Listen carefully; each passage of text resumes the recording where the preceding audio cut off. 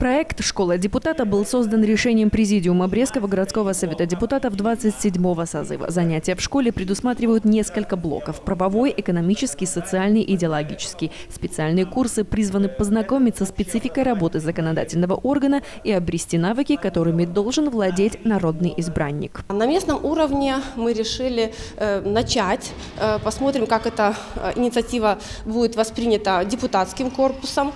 Ну и затем будем выходить с предложением предложениями на более высокий уровень.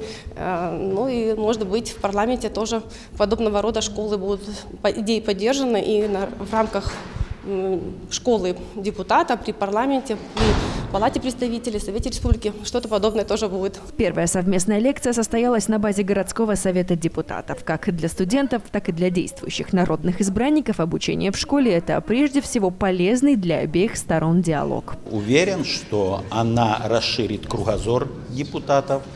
Э, эта школа, она поможет им получить тот багаж знаний, теоретических знаний, который поможет им решать повседневные вопросы, решать те проблемы, которые высказывают э, люди в обращениях своих, ну и решать те основные вопросы, над которыми работают депутаты и будут работать вот в 28-м созыве. Школа направлена не только на самих депутатов, а прежде всего как платформа для обмена опытом между депутатами настоящими, которые сейчас свои полномочия, и молодежным парламентом, которые в будущем, возможно, планируют стать кандидатами, ну и в дальнейшем, если поддержит население, то и смогут себя более полно реализовать уже, скажем, на профессиональной основе в качестве депутатов местных советов советов депутатов. Депутат – это первое связующее звено в цепочке взаимоотношений гражданин-власть. Народный избранник в каком-то смысле и адвокат, и юрист, и экономист, и просто тот, кому верят люди. Он реагирует, помогает и решает проблемы